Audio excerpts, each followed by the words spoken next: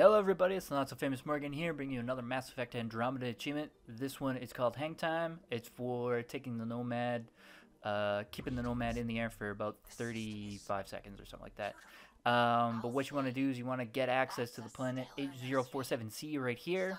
It's the only planet with low gravity, and you want to get a couple Nomad upgrades. This is These are the stats on my upgrades. If you go to the skills and push Y, you can check stats and go to your Nomad, so make sure your Nomad matches those skills. So um, once you get onto this planet, the uh, the planet I mentioned there with the low gravity, that's the start. You want to get to this area and head over to this cliff. This is the cliff that's the easiest spot to jump off of, and it's got the most distance with the least ground, so you can get the achievement that way.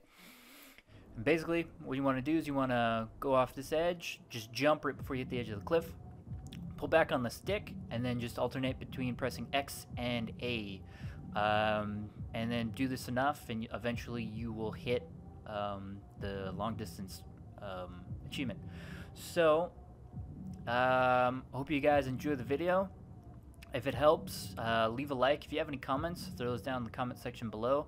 And if you haven't already subscribed, go ahead and do that too. And uh, I'm just going to let this play through to the achievement pop at the end. Um, this took me a couple tries, so if you didn't get it, just keep going at her and eventually you'll get her just like I did. So, uh, yeah, join me for the next Mass Effect Andromeda achievement. Later.